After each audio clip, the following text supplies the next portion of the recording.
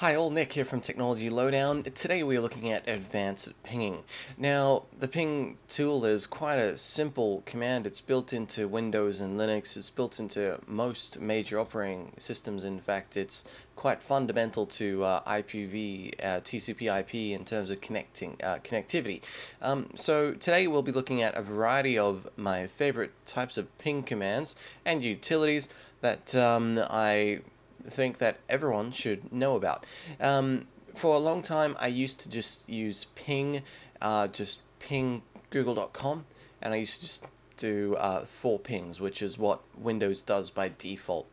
And that was as much as I knew about ping for quite a while until I actually looked deeper.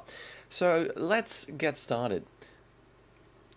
So ping is a part is uh, on the network layer of the OSI model. We can see it uh, involves packets, IP, ICMP, IPsec, and IGMP. So it's the network layer. It's the one of the fundamentals in determining if a computer is or if a device is online or offline, if it can communicate, send and receive packets. So that is um, the brief rundown of what ping is. So if we look up ping in Windows.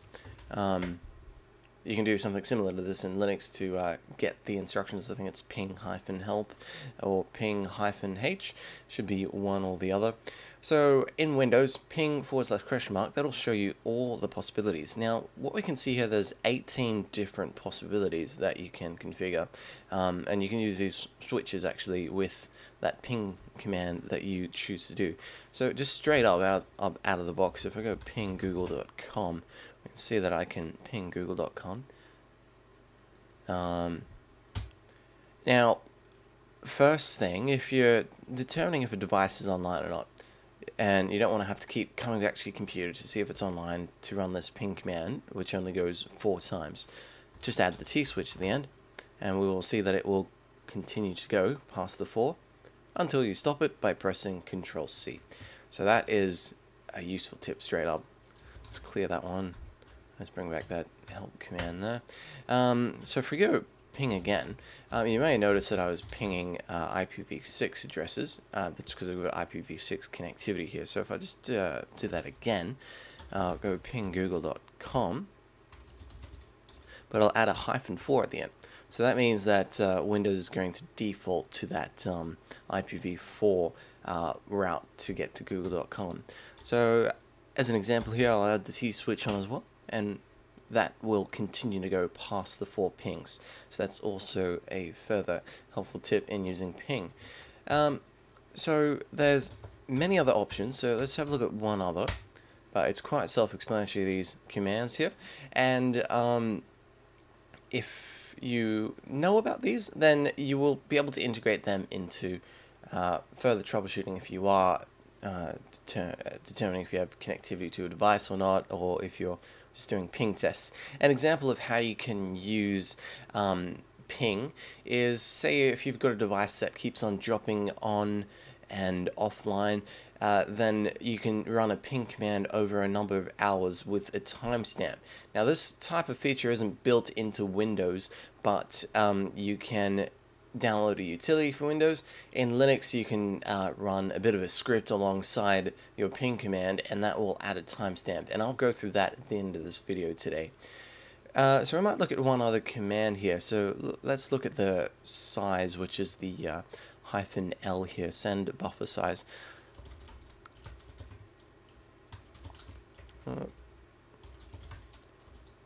Uh, go ping google.com, we'll add the L on the end, let's go for 5,000. Now there's a limit to how much you can do for here. So 5,000 is a bit too much, we'll reduce that one a bit. Let's go 1,500. That looks to be a little bit too much still. Let's go 1480.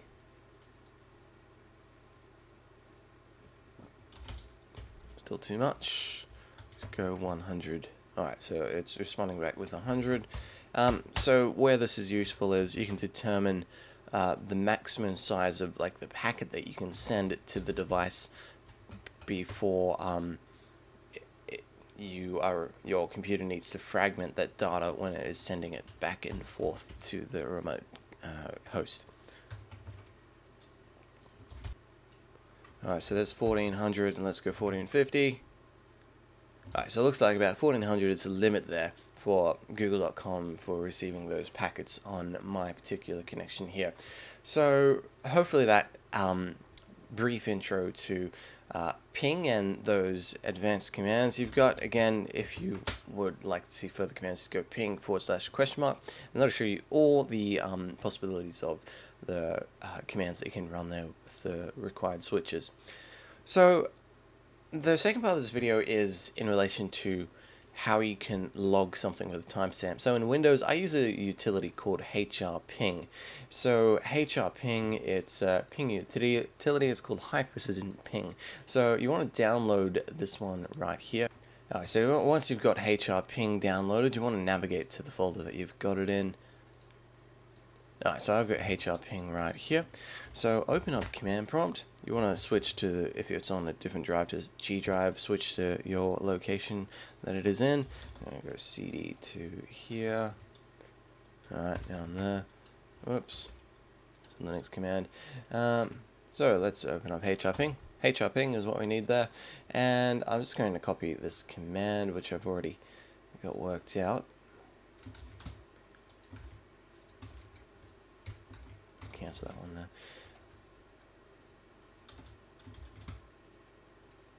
Alright, so it's hrping. You put in the host that you want to connect to, so google.com is the example here. Uh, now we've got a couple of switches on the end here. I might just bring up hrping with the uh, help switch.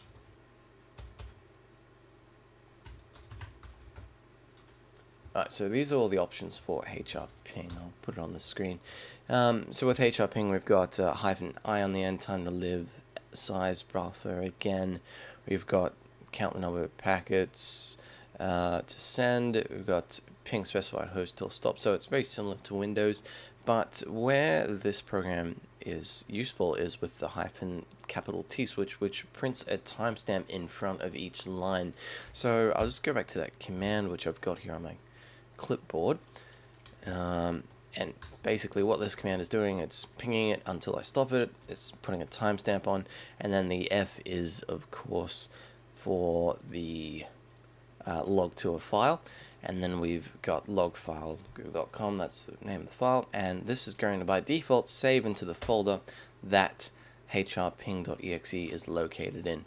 So I'll just bring over the window that has hrping there and we'll see that we've got a file here called logfile.txt and if I open that one up we can then scroll through that one and see that we can ping it and it hasn't dropped out. So that is how you can do it on Windows. Let's jump on over to uh, Linux and we can run a command from there as well. Alright, so we are in Linux and you want to open up Terminal.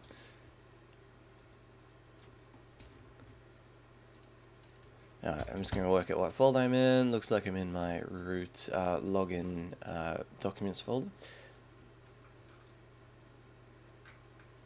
Alright, and I've got this command here, and don't worry, all these commands I will post a link to in the description.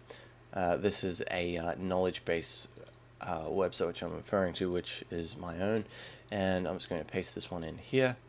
And so what we can see here is we've got uh, sudo elevating the permissions, although I don't really need to do that because I'm using root. Uh, this is Kali Linux. So if I'm going to ping a host, I'll put in ping, and I'll just uh, put in one that I know is definitely up.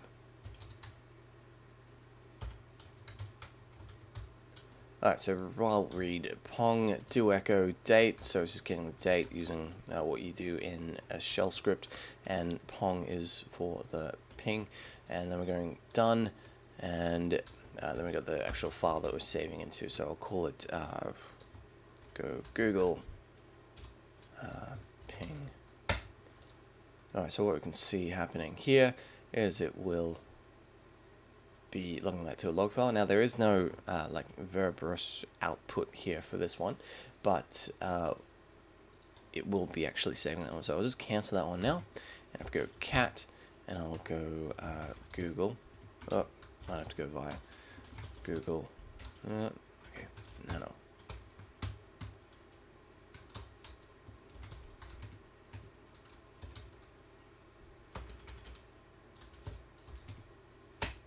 Alright, so we can see we've got um, those ping commands saved here to that file, and yeah, it's logging it with a date timestamp.